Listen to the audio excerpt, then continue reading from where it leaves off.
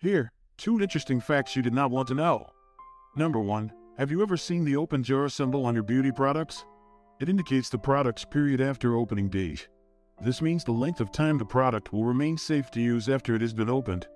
Number two, have you ever noticed that small hole in elevator doors? It's not just decorative. It's actually a keyhole used by emergency personnel to unlock the doors in case of an emergency. That is for today. See you tomorrow.